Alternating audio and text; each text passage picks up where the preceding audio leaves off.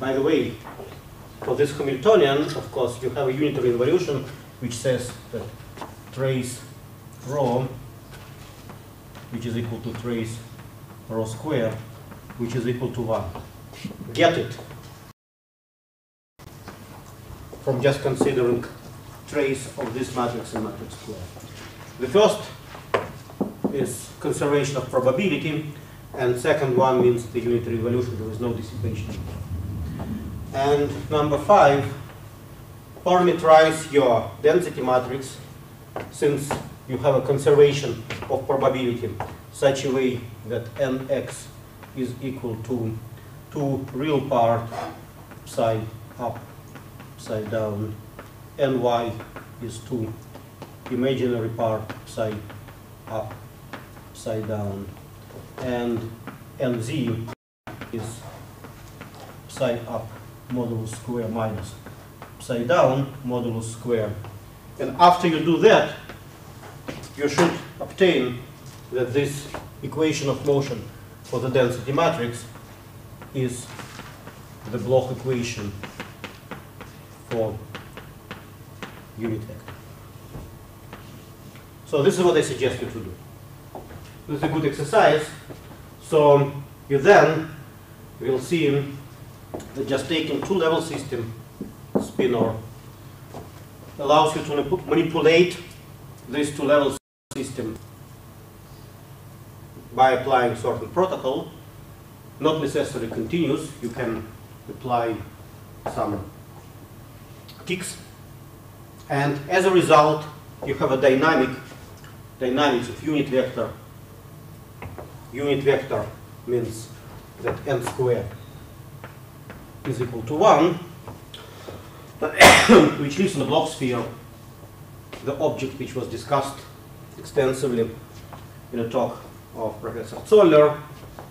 So um, this actually is nice exercise connection between what I was telling you about dynamics and magnetization, living in a Bloch sphere, and dynamics of a two-level system, which is not necessarily electron. And magnetic field is, is not necessarily the magnetic field. The two-level system can be specially prepared polarized states of phot photons, and synthetic magnetic field can be anything which mimics behavior of true magnetic. For example, one can play with electric field in a system of double quantum dots, which will produce the very same Hamiltonian and therefore will result in the very same behavior. So this is the qubit, and this is how the dynamics of qubit is described. So magnetic field is time dependent. Okay.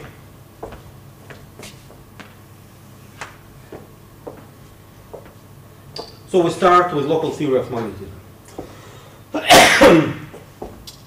so we will be dealing with almost the same Hamiltonian, now time independent. This is magnetization times magnetic field. I'm going to discuss thermodynamics.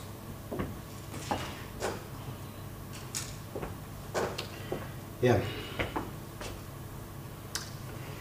Um, first of all, let me repeat it again that magnetism is quantum phenomenon and it is associated either with spin degrees of freedom, which is entirely quantum number, or with the quantization of the orbital motion. Saying semi-classics, um, well, the magnetization is related to spin. This is due bar spin. We will assume that spin is large. This is a semi-classical condition.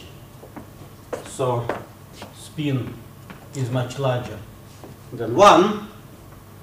And therefore, if you write down commutation relations for spin operators, for example, S plus, S minus is equal to 2 Z,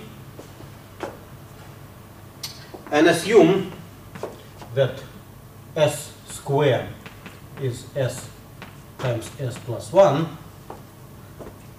which is S square plus S, under this condition, we can neglect term s compared to s squared. So this is approximately s squared. s is very large. If I divide this commutation relation by s squared, what I will get, that s plus divided by s, s minus divided by s, commutator is equal to 1 over s 2 z divided by s. So you see that if I take large s limit, the right hand side of the commutator goes to 0. Which that in the limit of very large quantum number, the plus and minus component of spin operator are commuting, so they can be represented in terms of bosons, and this is what you did with Professor Nersesyan when you discussed Holstein-Primakoff. So this is a way to construct large um, S figure. So therefore, in this semi-classical limit, let me first assume that magnetization is kind of classical vector. So I, I will write down expressions in spherical coordinate system. So mx is m um, sinus theta cosine phi, my is m sinus theta sinus phi, and mz is m cosine theta. So once again, I'm talking about very simple Hamiltonian of spins which do not interact. There is no interaction between spins. They only talk to magnetic field, external magnetic field applied to the system. Once again, I will take the magnetization axis z along the direction of magnetic field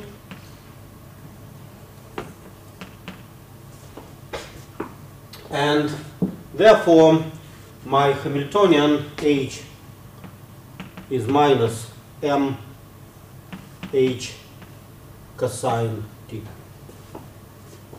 Okay, this is as simple as that. As I said, m is considered as classical classical. Um, what I'm going to do now, I would like to compute the average magnetization along the direction z. So your system is magnetized by a magnetic field um, as a thermodynamic average. So I have an ensemble which don't talk. So, and as a result, the magnetization, average magnetization is, since average, integral over d solid angle omega e to the power, sorry, mz e to the power minus h over temperature. I'm taking average, assuming that there is a Gibbs ensemble, divided by integral over solid angle omega e minus h over temperature. So, d omega is sinus theta d theta d phi. And what we have in denominator, this, is nothing but partition function. So z is integral over the omega e to the power minus h over temperature. So once again, I consider the Boltzmann constant. So I measure temperature in the units of energy. This is a conversion rule.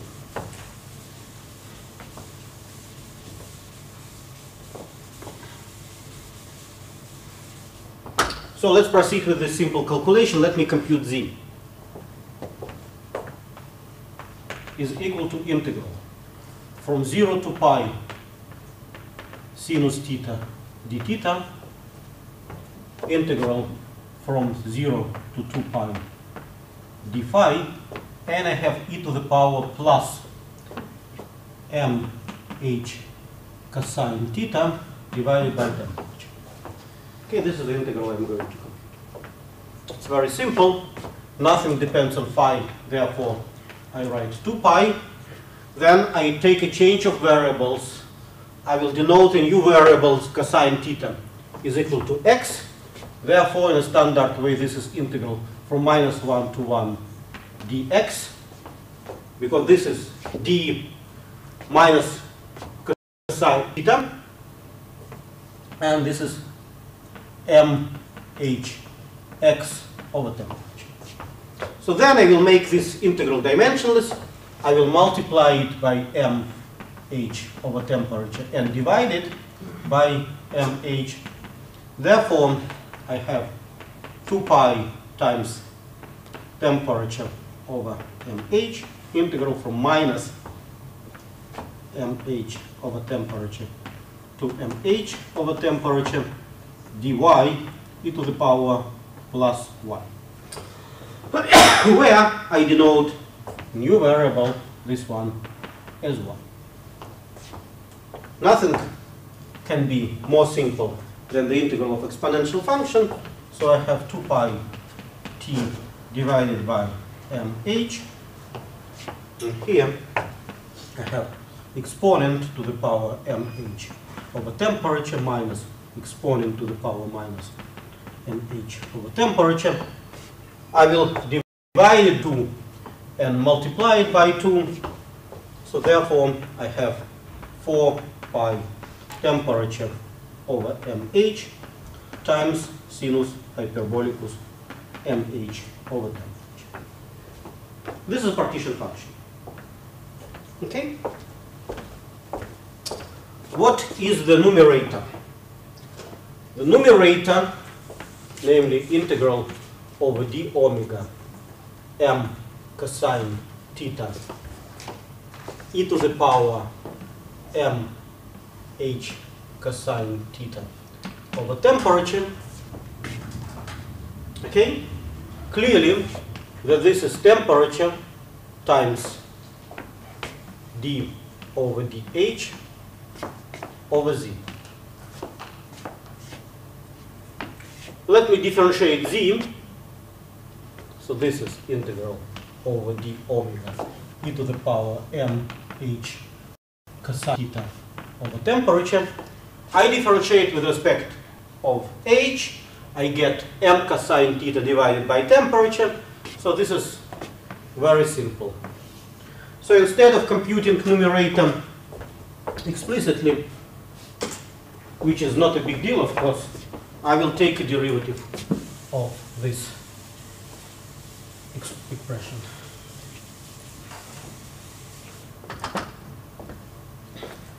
Yeah. Z. And of course, mz is equal to numerator t d over dh z divided by z. So this is d over dh t log z. So you see that this is free energy. I'm using very standard notations. Okay, D over dh z is equal to temperature times d over dh. I have a product 4 pi t divided by mh sinus h mh over temperature. So I differentiate first term temperature times minus 4 pi t over mh square sinus hyperbolicus mh over temperature plus 4 pi t over mh times cosine hyperbolicus mh over temperature times m over temperature. So therefore, this is, um, uh, I will take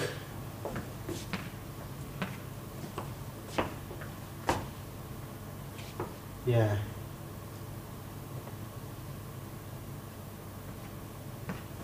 M four pi t over mh out of the brackets. Um, so what I have here, I have m over temperature times cosine hyperbolicus mh over temperature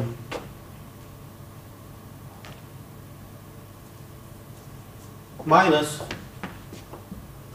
um, 4 pi over h. I have temperature over h times sinus hyperbolicus mh over temperature.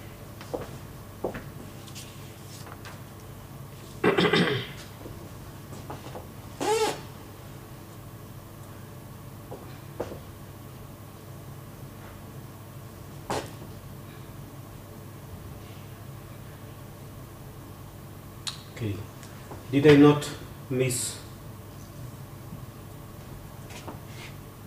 anything? Okay.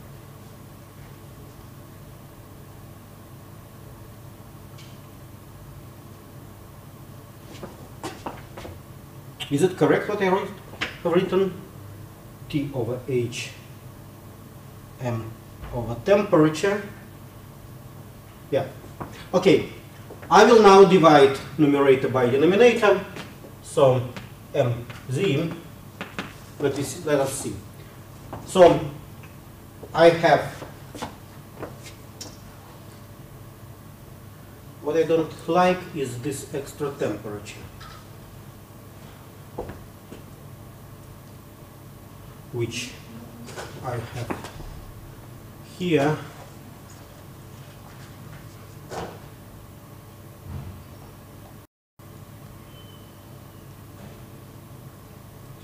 In the first term, I choose Yeah. divided by t. Um, this is what I'm, I'm saying. I have temperature in front, and here this temperature cancels out, right? 4 pi temperature, so there is no temperature here. Yeah. So this is what what I meant. Uh, yeah, because here the temperature is cancelled out. Yeah. So now I divide, and what I have is I have m cotangent mh over temperature minus temperature over h. Okay. So I will write it that way. So this is m times cotangent mh over temperature minus t over mh. Good. Um, and I will call this function L over mh over temperature. This function has a name. This is a Langevin function. I will write it down again.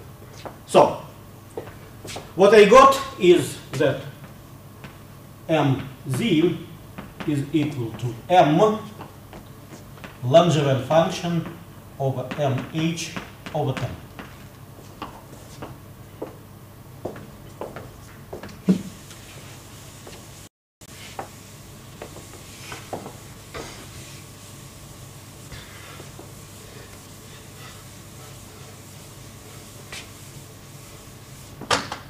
This is the calculation, very simple calculation. I don't know, did you discuss Langevin function in your course of statistical physics? So, Langevin function.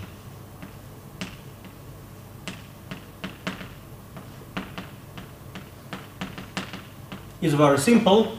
Lx is cotangent hyperbolicus x minus 1 over x.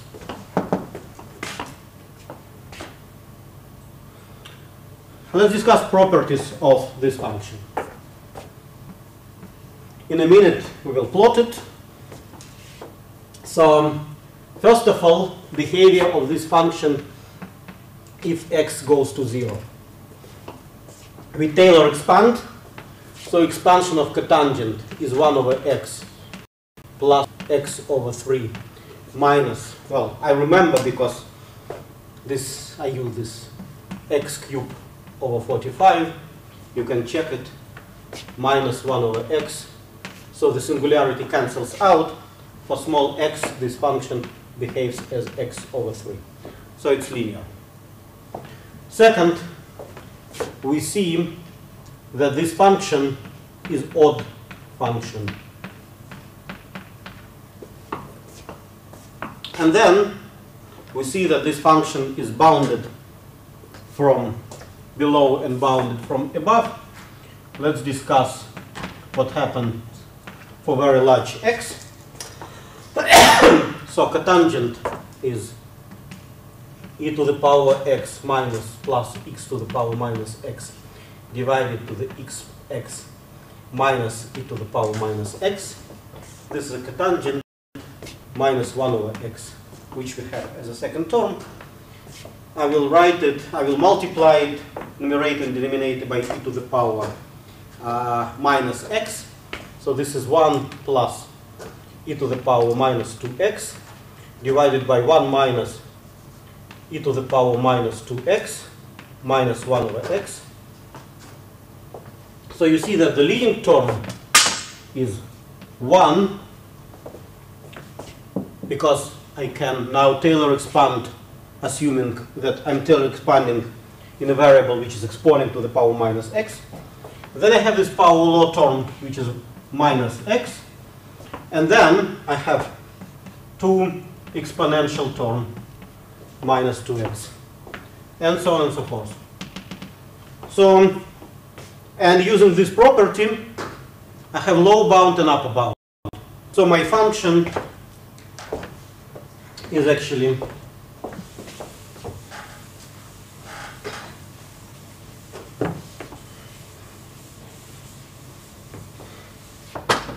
behaving like that.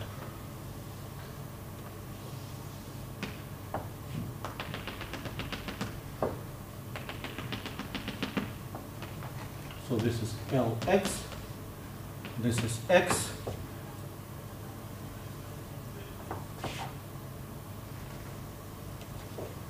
this is plus 1, and this is minus 1. And it is linear at the origin. Okay? Good.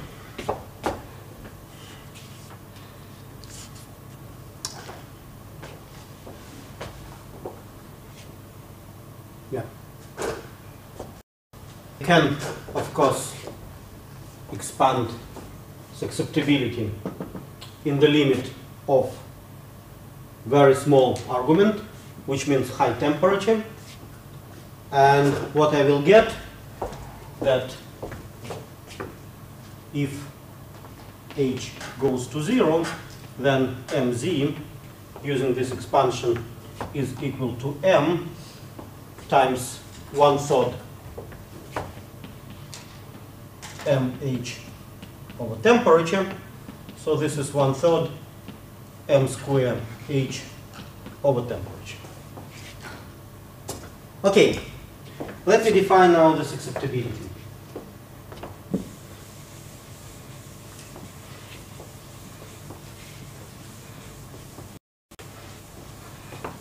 See that nothing can be simpler than what I'm doing.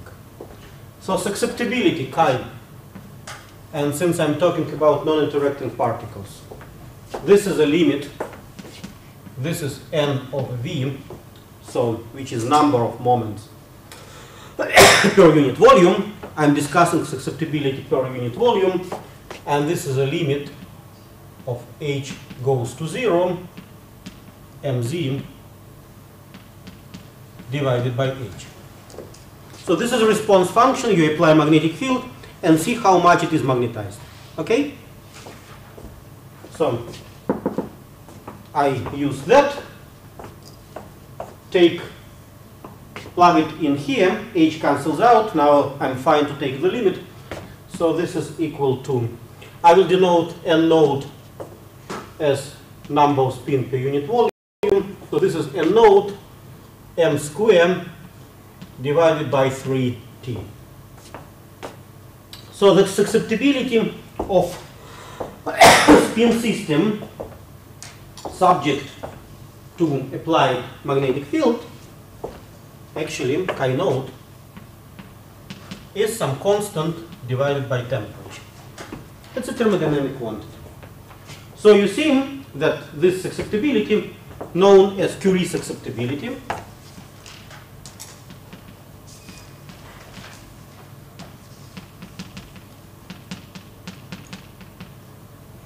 is diverging at low temperatures. At temperature it goes down to zero. And this is characteristic for system of non-interacting local moments.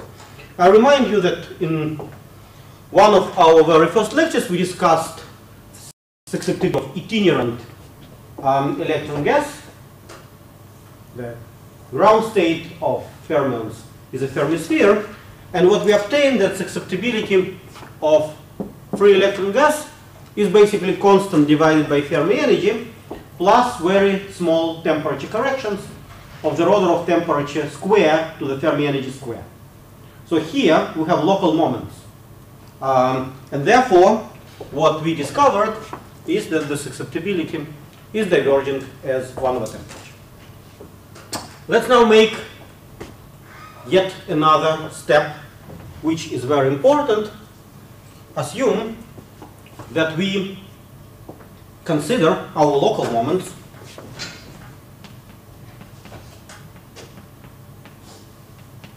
And let's take one particular moment. For example this one and see which magnetic field acts to this moment. So we write H effective which consists of external magnetic field, this is this one, plus since some other moments are magnetized, it will produce field, they will produce field proportional to magnetization of a system. So I will just write some coefficient gamma times mz. Well, I select one, so the field magnetization produced by all but one I'm talking about 10 to the power 23 particles, is the same. So this concept actually firstly introduced in theory of magnetism is known as a concept of molecular field. So you have effective field which consists of external plus some back action. So if it is so, let me plug in this effective field into the equation for magnetization, so mz is equal to m times Langevin function of m h external plus gamma mz over temperature. So the constant gamma is phenomenological. Uh, Monday we will connect it with some microscopic parameter. Gamma just, gamma just proportionality coefficient be between induced magnetization and its contribution to uh, uh, effective magnetic field. Um, well, what I can do now, I can turn off my external magnetic field, right? And then I have self-consistent molecular equation which contains magnetization in the left-hand side and it contains uh, magnetization in the right-hand side. So mz is equal to m times Langevin function m gamma mz divided by temperature. And let's try to solve this equation in a very simple manner. We will find a graphical solution of this equation. So let me first multiply left-hand side and the right-hand side of this equation by m gamma over temperature. So what I have is m gamma mz over temperature is equal to m square gamma over temperature, right? Um, because I'm multiplying by m gamma over temperature, Langevin function over m gamma mz over temperature. Now I denote this variable as x, so this is the same as here. And what I have is temperature over m square gamma x is equal to lambda x. So I have a line with a slope which is proportional to temperature and inversely proportional to gamma, and I have Langevin function which I will deploy. Suppose the temperature is high enough compared to something which we'll define in a minute. So high temperature limit. So this is the line which is crossing my Langevin function. I have only one root of this equation, which is zero. Um, and suppose now I take slope smaller, still one solution, and then I take slope here where I still have one solution. But my tangential coincides with, tangent, with the slope of the curve. I will define that this one, this one, is a temperature larger than Tc. This is temperature equal to Tc. And what happens then, if I lower down the temperature again, I will have two roots, two non-trivial solution of my equation. So this is temperature smaller than Tc. What is Tc? As I said, the condition for Tc is that the slope of my line is equal to slope of tangential. Therefore, Tc divided by m square gamma x is equal to x over 3. So therefore, Tc is equal to m square gamma over 3.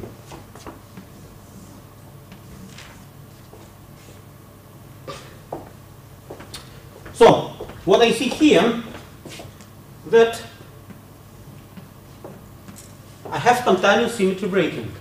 My average magnetization actually appears for small temperatures, smaller than Tc, and equal to zero for large temperatures, temperatures larger than Tc. So this resembles me what happens with superconductors while here I don't have um, complex parameter or the parameter, but just have a vector. but there is a spontaneous magnetization which appears in the system below critical temperature. Besides, I can use this equation and identify the behavior of my magnetization in the vicinity of critical temperature. So how to do that? I will write what I did before. So temperature over m square gamma um, and from um, this equation m square gamma is just a free critical temperature. So this is one third t over tc times x. This is the left hand side. And in the right hand side I will write x over 3 minus x cubed over 45 So I can cancel the left-hand side, cancel, divide the left-hand side and right-hand side by x.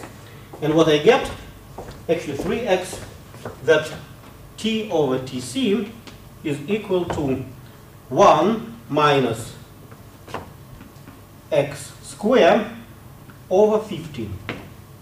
And you remember that my x is proportional to magnetization. Therefore, from this equation, I obtain that x is equal to square root over 15 tc tc minus t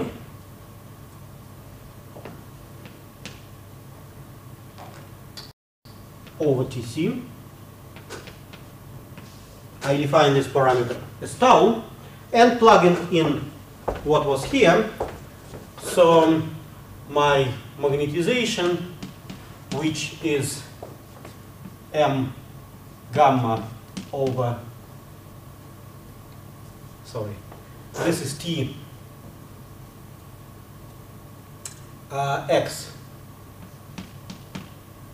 over m gamma, I can multiply by m and divide by m.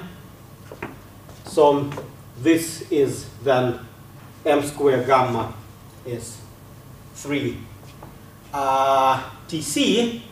So this is x over 3 m t over tc and I plug in x from what I have found.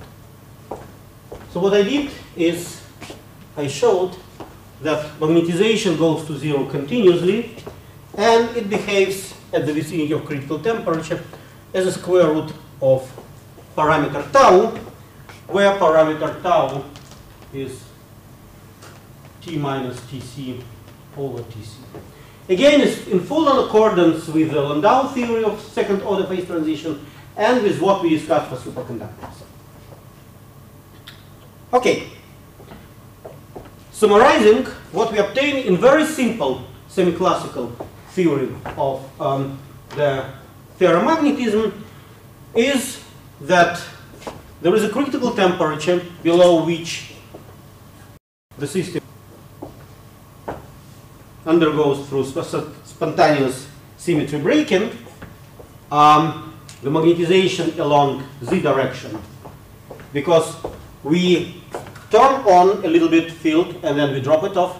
So we create a direction in which the symmetry is going to be broken. Um, and below this temperature, there is non-zero order parameter, uh, which is um, magnetization. So the transition to magnetized state, we have uniform magnetization, is the second order phase transition. You can actually use this Hamiltonian compute free energy, I showed you how to do it, and derive Landau function just explicitly from this theory. Show that this lambda phi to the 4 theory is applicable to this transition. You can get it from the very simple Hamiltonian. The last thing which I'm going to do now, I'm to compute susceptibility of this system.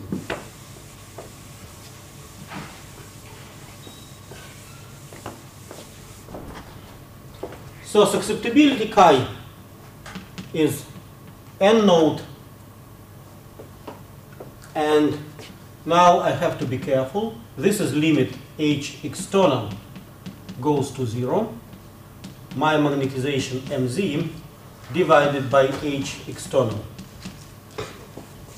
I use my Langevin equation and say that I know that both external field goes to zero and induced magnetization goes to zero. Therefore, the argument of Langevin function is small. So this is a limit over h external goes to zero. And I have here m over 3. And I replace Langevin function by its argument, which is m h external over temperature plus m gamma mz over temperature. So therefore, in the first term, sorry, and I have to divide by external field. The first term is very simple. I can divide by external field and take the limit, it goes to zero. So this is m square n naught divided by 3 temperature. This is the same Curie susceptibility which I obtained before. So this is chi naught. And the second term is plus n naught. Um, I have m square gamma over 3 temperature and I have limit H external goes to 0 and mz divided by H external. So let me write it this way. So this is precisely chi, which I have in the first line of my equation. So this is chi, and therefore I have equation which says that chi is equal to chi naught plus um, m square gamma over 3 is a tc, right? So I have tc over t times chi. Very simple equation which I can solve and find that chi is equal to chi naught 1 minus tc over t. And if I plug in that Curie susceptibility, chi naught is a constant divided by temperature, I have a constant divided by temperature minus Tc. So this susceptibility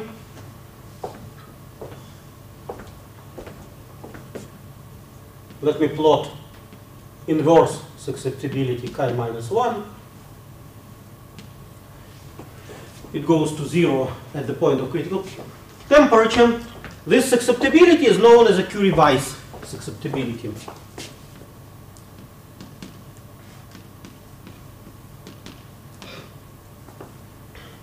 So we see that the susceptibility is divergent when we approach to critical temperature. And the question is, what happens if we are below critical temperature? What the susceptibility is equal to?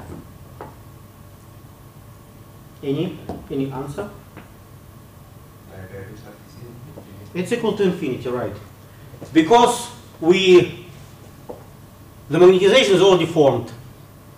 We can apply zero field, but it corresponds to finite magnetization, and therefore the susceptibility below Tc is equal to infinity. Uh, by the way, um, as I told you, and next Wednesday, when I'm not going to be here, Jean-Paul Fayet uh, will give a tutorial to you, and he will discuss um, kind of summary of phase transition theory, introduce you critical indexes. This critical index beta, which characterize how all the parameter goes to zero when temperature is approaching to critical, is equal to one half. now we found yet another critical index, which is gamma, which tells you how the response function susceptibility uh, behaves if temperature goes to critical temperature. So the susceptibility should diverge, because what happens is, we will discuss it Monday in terms of correlation length, um, and discuss very simple Ornstein-Zernike theory of ferromagnet. Um, so what happens that actually susceptibility diverges means that the correlation length diverges, um, it becomes infinity, and when it becomes infinity, the long range order is established. So correlation length becomes equal to size of your sample, and this is the point where phase transition um, occurs. So the critical index gamma, so this is tau to the power minus gamma, and gamma is equal to 1. This is yet another critical index uh, for Landau phase transition theory. okay. Are there any questions regarding to this semi-classical theory? Because what I'm going to do now in the remaining 40 or so minutes, I will repeat almost all calculations assuming that I'm in quantum limit. So what's the difference between classical limit and quantum limit? In classical or semi-classical limit, I consider my magnetization um, as a vector which lives on the Bloch sphere. In the quantum limit, I will assume that spin or total moment is operator. Um, it corresponds to quantized levels um, of energy, um, quantized eigenvalue of um, uh, uh, moment in z direction, z projection of, of the moment.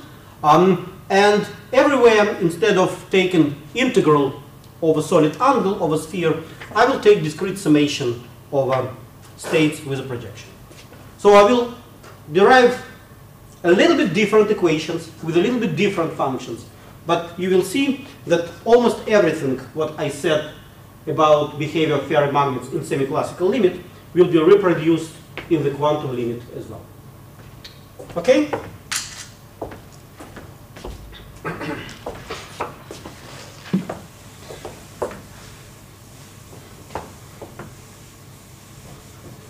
I will probably leave this because it's very instructive. That way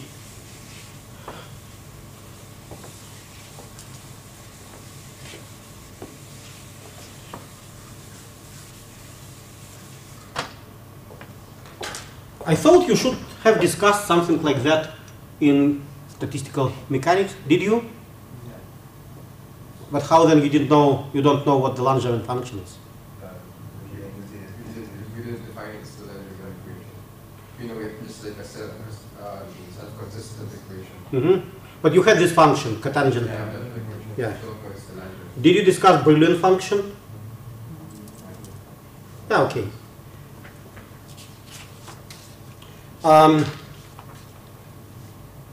good. So, quantum version.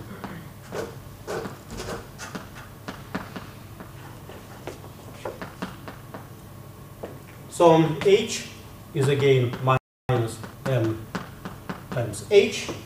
I'm going to compute thermodynamic um, quantity um, and um, mz is related to, well, before coming to average, let me write that total magnetization is associated with total momentum in the system, where J is sum of orbital momentum plus spin, and Gj is the Landé factor, which I already briefly discussed um, during last lecture, or gyromagnetic ratio. This is 1 plus j, j plus 1 minus l, l plus 1 plus s, s plus 1 divided by 2j, j plus 1. So we have two important cases. If our magnetization consists only of spin and there is no orbital motion, so if L is equal to 0, so then J is equal to S and GS is equal to 1 plus S, S plus 1 plus S, S plus 1 minus 0 divided by 2 S, S plus 1. So this is 1 plus 1. This is equal to 2. So if magnetism is related to spin degree, then your gyromagnetic ratio is equal to 2. If, however, we have S equal to 0 and therefore J is equal to L, we have magnetism associated with orbital motion. So this Landé factor is equal to 1 plus L, L plus 1 minus L, L plus 1 divided by 2 L, L plus 1 and therefore GL is equal to 1. Okay? So therefore MZ is equal, now I will drop index J, I will just write G mu bar J Z. And J, as I said, is quantum mechanical operator, the same way as we discussed it for orbital moment or spin. Um, the eigenvalues are quantized um, and Jz operator takes 2j plus 1 eigenvalues. So this is minus j minus j plus 1 j. So there are 2j plus 1, and therefore gz average is just discrete sum over m equal to minus j to j um, m e to the power minus h over temperature divided by partition function which is sum from m equal to minus j. j, there are two j plus 1 uh, terms, um, e to the power minus h over temperature. Okay? And then the magnetization is given by this equation. Um, and this is the Hamiltonian. Um, so H is equal to minus G mu bar H J Z, which is M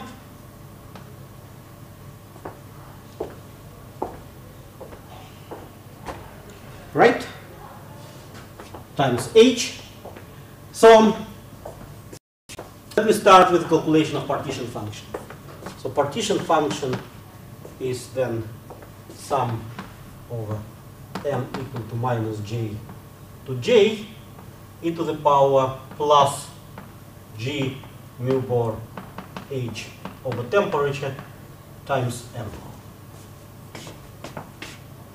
I will denote this variable, this combination as x. So I have sum over m equal to minus j to j e to the power mx,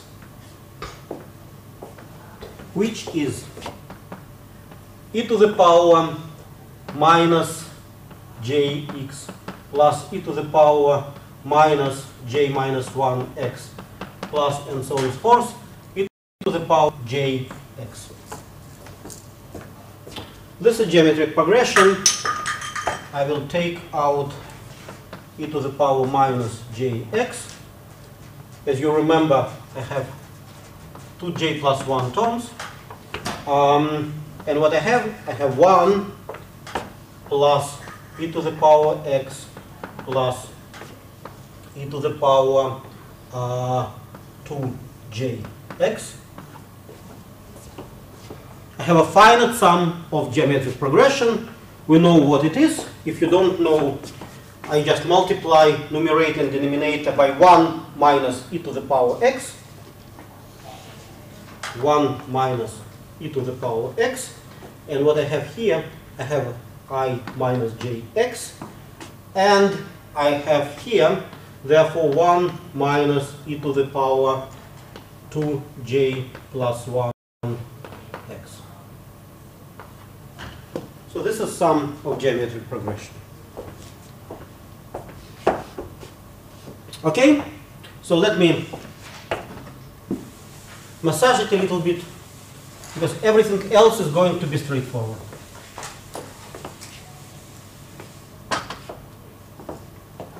So z is equal to e to the power minus jx minus e to the power j plus 1 x divided by 1 minus e to the power x.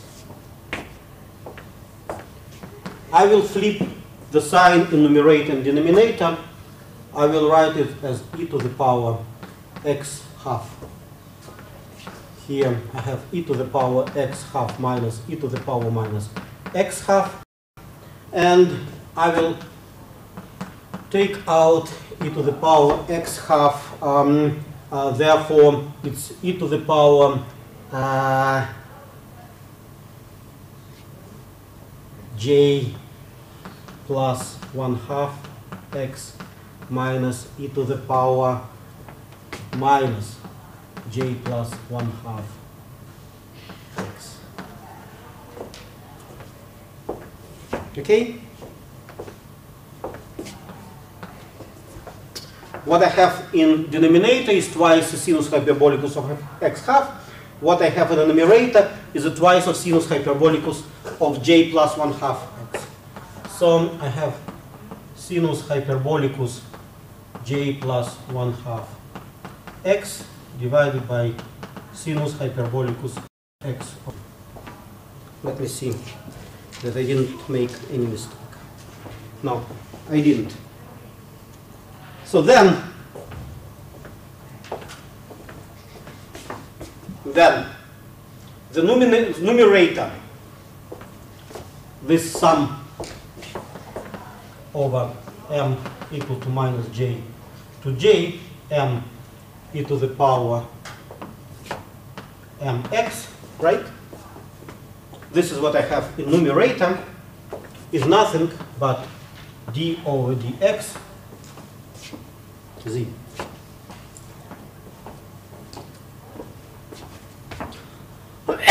I computed denominator.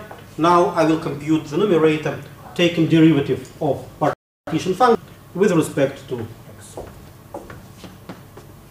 Okay, I have um, j plus 1 half cosinus hyperbolicus j plus 1 half x times sinus hyperbolicus x over 2 minus 1 half cosine hyperbolicus x over 2 sinus hyperbolicus j plus 1 half x divided by sinus hyperbolicus square x over 2. Let me now write 1 over z, and this will be my average. This is 1 over z, right? And I will write down z here, sinus hyperbolicus j plus 1 half x divided by sinus hyperbolicus, therefore I remove one power there. Good. I have some expression.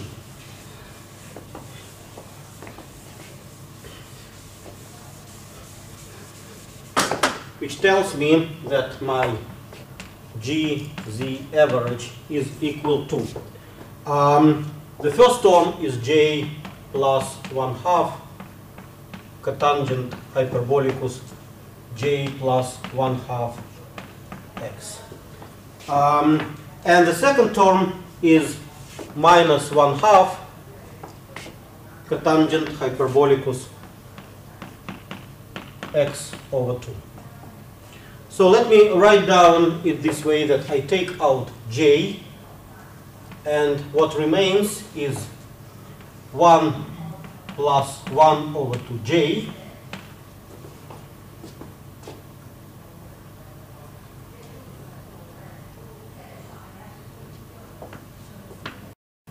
I also denote jx is equal to y Therefore, I have cotangent hyperbolicus um, 1 plus 1 over 2j y minus 1 over 2j um, and cotangent hyperbolicus y over 2j. So I denote this function as a Brillouin function j with index j of y. And my equation for the magnetization, so I told you that magnetization mz is g mu bar j z. Therefore, it is equal to g mu bar j times Brillouin function bj um, x, if you remember, was m, sorry,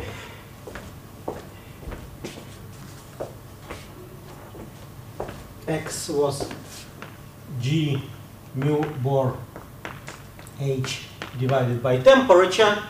Um, therefore, this is g mu bar j H over temperature.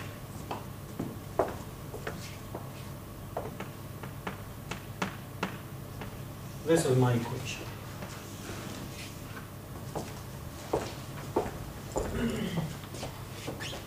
Okay? The Brillouin function. What is it?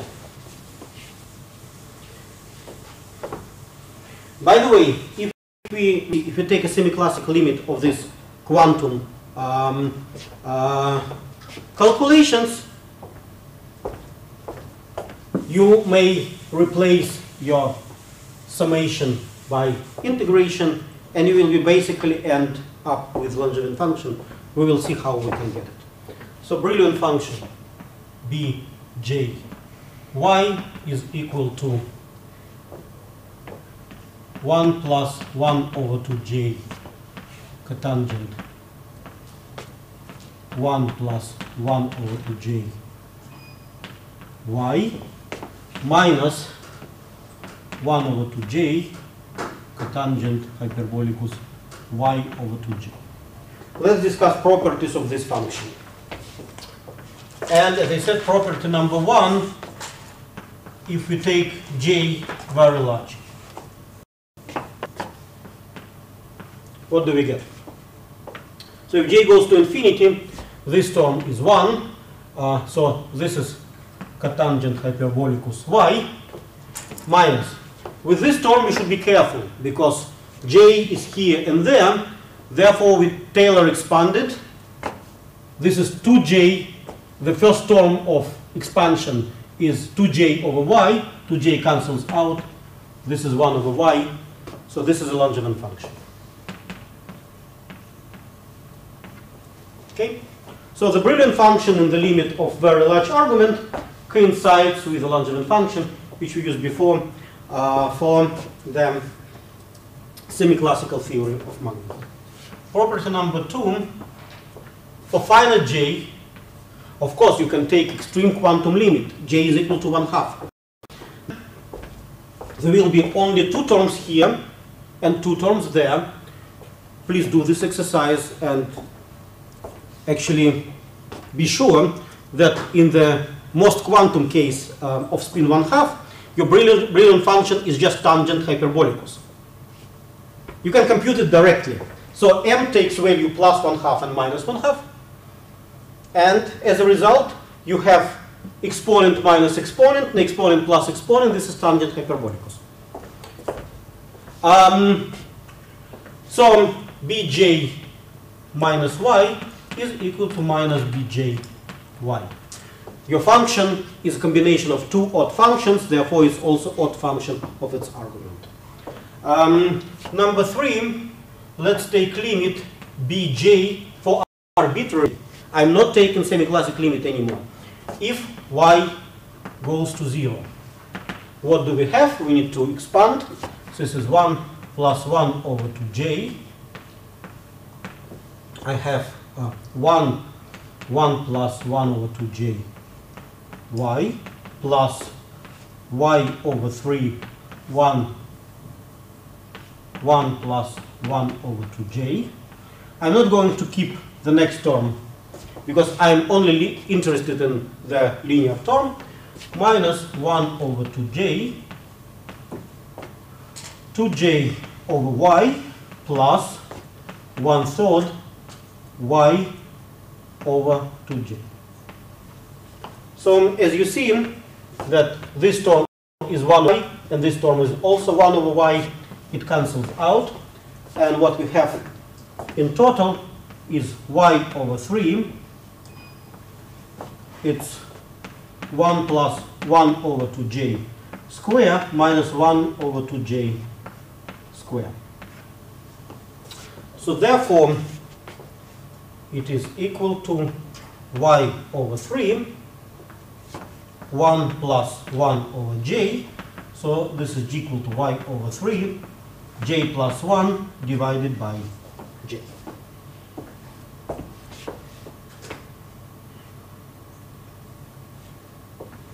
This is important.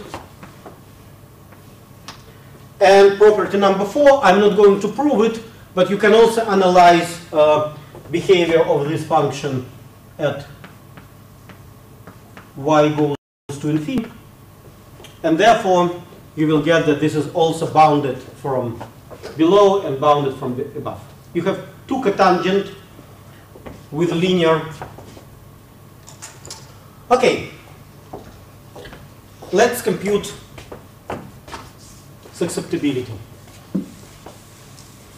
in a Curie regime.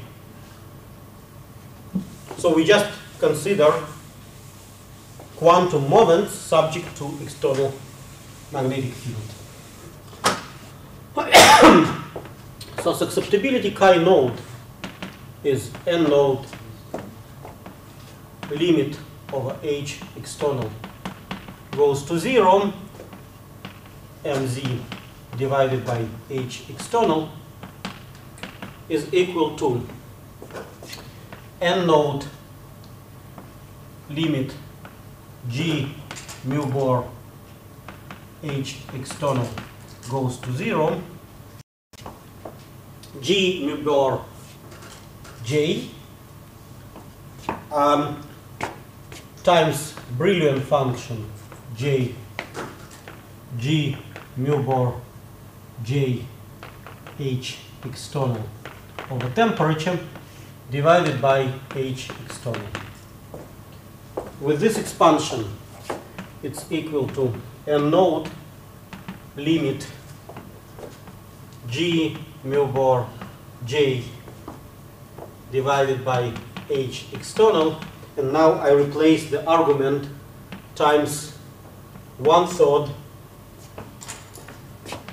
g mu bar j h external over temperature times j plus 1 divided by j. h external goes to 0. So h external cancels out, j cancels out, and what we have is n naught times g mu bar square times j times j plus 1 divided by 3 times temperature. If you remember, in semi-classical theory, we have m square here.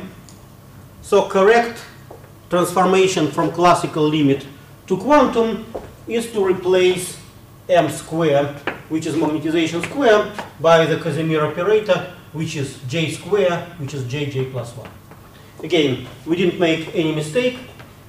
We obtain correct correspondence between classical and quantum mechanical um, quantum mechanical description. So what we see here is that it's indeed Curie law. So the susceptibility behaves as 1 over temperature and diverges um, as um, 1 over temperature. Okay?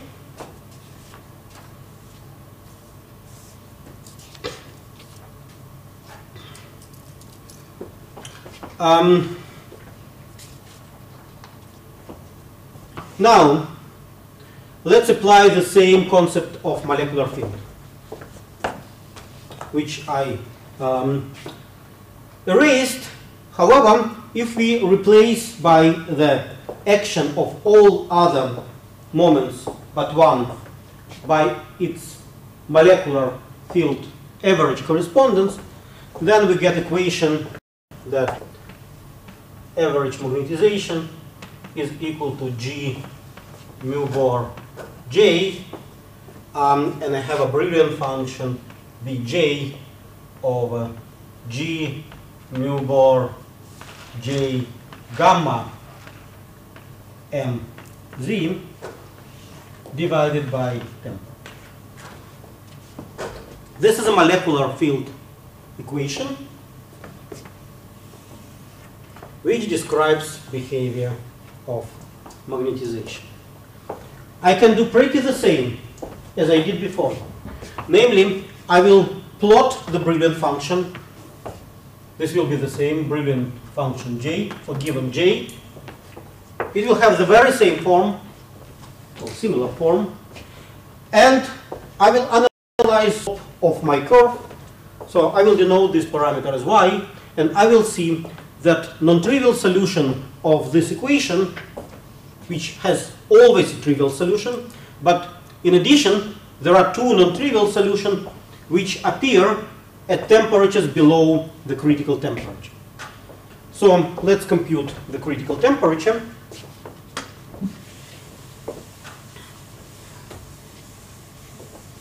which is given by the slope. So at Tc, I have magnetization Mz is equal to G mu bar J. I replace a Brillouin function by um, its argument. So this is one third G mu bar J Mz over temperature times J plus 1 over J. J cancels out, so this is Tc.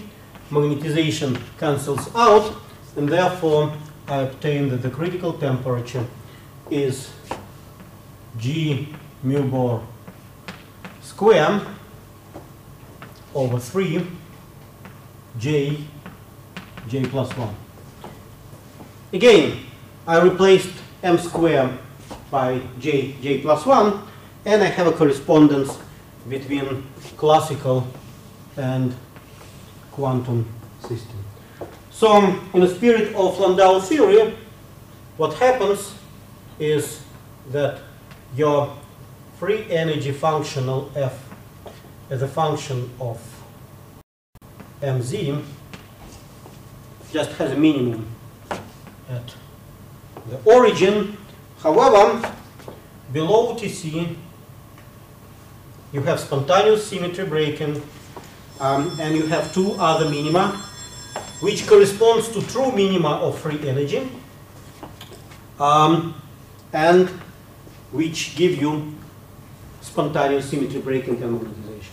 Again, take the simple Hamiltonian, which um, I considered for quantum limit, and derive the Taylor expansion for the free energy as a function of magnetization along the z direction for quantum case and show that this is indeed the Landau function. Okay?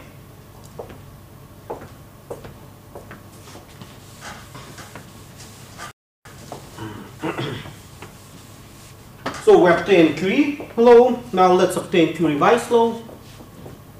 So we will define magnetization chi, which is n naught limit over mz divided by h external if h external goes to zero. And with the very same way we did it before, we will obtain that chi 1 minus tc over t is equal to chi naught, and therefore chi is equal to chi naught divided by 1 minus tc over t, which is a constant over t minus tc. We have the very same behavior of quantum system as it is described for classical system.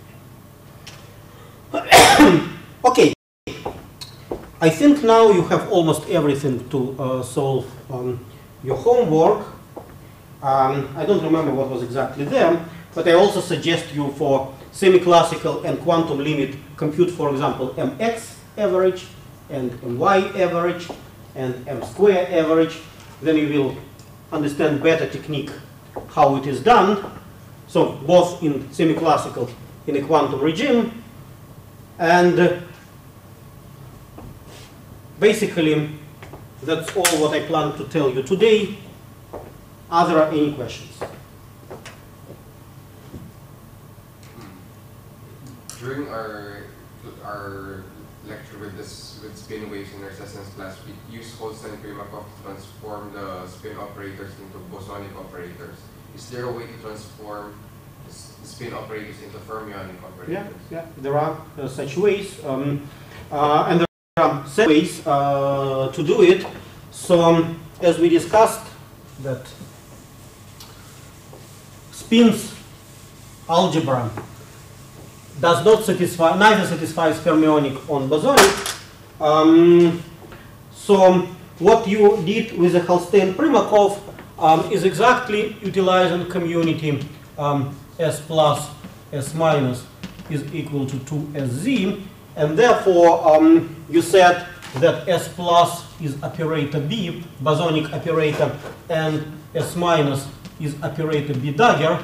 So you have this commutation um, which is almost zero in the semi-classical uh, limit. You, you define bosonic um, operators. Um, and then uh, you actually describe um, SZ, um, SZ um, in terms of uh, S square. So um, um, the way it is done for Holstein-Primakoff, that S square is S, S plus 1 is equal to S uh, x square plus sy square plus sz square. This is something like s plus s minus. So this is b, b dagger, and therefore you can write that sz will be square root um, of um, s s plus 1 minus, uh, say, b dagger b, something like that. This is Holstein-Primakoff. Um, uh, in principle, there is also presentation which is called uh, Maleev-Dyson, uh, because here Z is square root and actually it's expansion in terms of density of bosonic operator, but in Maleev-Dyson, um, actually this expression for Z, which is also representation in terms of bosons, is quite simple, but expression of S plus, SS minus is not that simple, and moreover, it's um, a bit twisted representation. It doesn't look Hermitian from very beginning, but who cares? Um, um, about fermions. In principle, you can write down that S is one half fermionic operator F dagger alpha, sigma alpha beta, F beta. You can check that um, here, introducing spin in terms of fermionic operators, you have four possible states. So you have one side, um, and on this side you can zero fermions, you can have one fermion, or you can have two fermions. Um, so you can say you can see that with this representation you satisfy um, the algebra of spin operators also. Um, for example, um, operator S plus will be F dagger up, F down, S minus will be F dagger down, F up, and SZ would be one half uh, F dagger up, F up, minus F dagger down, F down. However, you extended your Hilbert space introducing by two new states, namely empty and double occupied. So in principle, um, you should take care of getting rid of these states. Um, it can be done in different ways. Um, uh, for example, it can be done by adding to your um, Hamiltonian terms which is lambda n minus 1. Uh, let me first, so minus. This will be done like chemical potential to your Hamiltonian, and then um, if n is equal to 2, you have lambda over temperature, you put lambda equal to infinity, and you project out the states, lambda equal to 0, and equal to 0 has a zero eigenvalues, you can prove that it will not give a contribution to calculation of your partition function. But in principle, you can also add term n minus 1 square. You will recognize that this is precisely Hubbard term. Then the empty state and double occupied states will be excluded on a general footing. Um, um, uh, and this is a way to fermionize your spin operator. Um, uh, besides, for those who are curious, I can uh, say that if we are talking about spin one half operator, uh, but they are already, so to say, fermions. This are this famous Majorana fermions um, because the Pauli matrices um, anti-commute sigma alpha sigma beta anti-commutator is equal to delta alpha beta. So in a sense, Pauli matrices for spin one half are already fermions. So one can construct a fermionic basis um, not in terms of complex fermions which satisfy U1 gauge invariance. One can make a phase transformation, gauge transformation with the phase. But with the fermions which satisfy discrete, which satisfy, which are subject to discriminatory Z2, which are Majorana.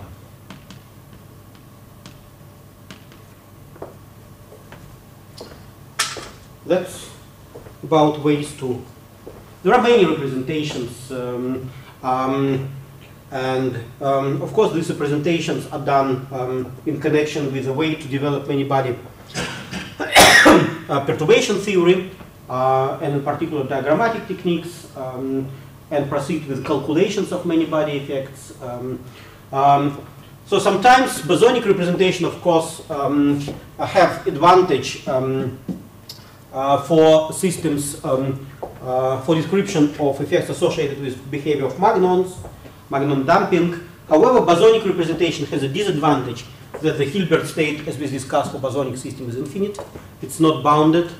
Uh, fermionic representation is, um, has more advantage in description of strongly current systems, uh, behavior of spin liquids, which we will touch on our very last lecture on Friday next week. Um, um, yeah, but of course, uh, when you discuss physical phenomena, it's just a matter of convenience which representation you use, um, and uh, the physical answer should not depend on the way you construct your uh, scheme of calculations.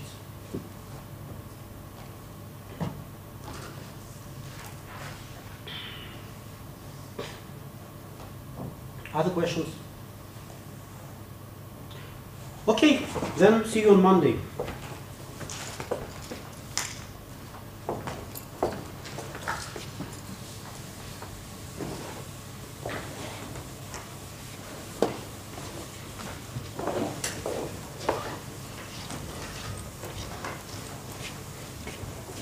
I'm wondering if discuss it in statistical physics, I mean this Langevin and all stuffs and behavior spin, how did you avoid discussing phase transitions?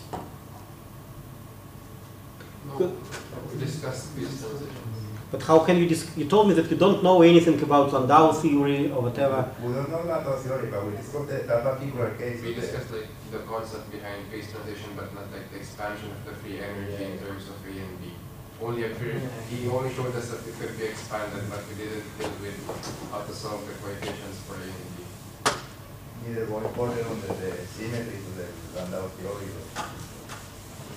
But you see that there are everything is so universal. We discussed superconductors. We found this universal description in terms of all the parameters. We discussed magnets. Um, if you discuss Ising model, and this is probably what you did, you will uh, introduce scalar order parameter, which is just because you have a z direction. Then it will be directly uh, theory lambda phi to the 4.